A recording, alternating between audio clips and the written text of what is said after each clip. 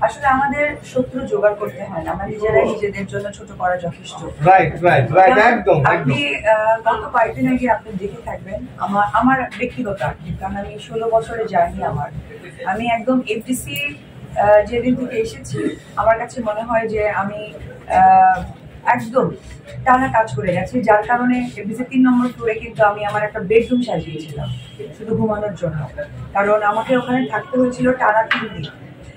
Cinema করতে করতে কিন্তু আমার ফেসে অনেক প্রবলেম হয়েছিল। আজকাল আমি উইদাউট মেকআপে লিপস্টিক দিয়ে শুধু আপনার বুঝতে পারছি। তো সবকিছু মিলে কিন্তু এর পেছনে একটি কারণ ছিল, সেটা কিন্তু চলচ্চিত্র। আমি বিয়ে করেছি। আমি মানে মন খুলে বলতে পারিনি। আমি আমার হাজব্যান্ডের সাথে এক জায়গায় বসে কফি খাইনি। কেন চলচ্চিত্রের সাক্ষী কারণ ওই সময় আমার সাকিবের ছিল মিনিমাম দশটা ছবি। পাইপ লাইনে ছিল আরও পাঁচটা ছবি। আবার ফোন করে বলা হচ্ছে আরও দুই, চারটা ছবি। আমরা ব্যাংককে প্রচুর শুটিং করেছি, মালয়েশিয়াতে করেছি, সিঙ্গাপুরে করেছি, ইন্ডিয়াতে করেছি। আমরা একসাথে গিয়ে ফুচকাও খেতাম না ফুচকা খুব পছন্দ করি। হ্যাঁ এই আনন্দগুলো সমস্ত নষ্ট করার পেছনে মূল কারণ ছিল, আমি যদি আমার ব্যক্তি জায়গাটা বলছি, চলচ্চিত্র। গত কয়েকদিন আগে চলচ্চিত্র উৎসব হয়ে গেল।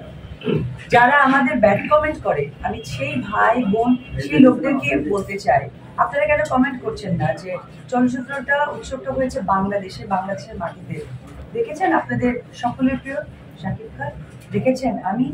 এখানে রাজা কাঙ্কেলের অনেক বড় একটা ফ্যামিলি কোথায় সম্রাট ভাই? কোথায় হচ্ছে বাপ্পা ভাই? ফেরদৌস ভাই? পূর্ণিমা আপু শাবনুর আপু দ্যাট টাইম কিন্তু বাংলাদেশে। কোথায়? মৌসুমী আপু কোথায়? সানি ভাই কোথায়?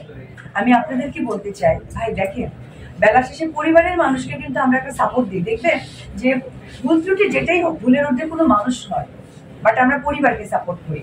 তো কেন আমরা নিজেরা পরিবার হতে পারি পরিবার হয়ে দেখবেন, জিনিসটা অনেক সুন্দর।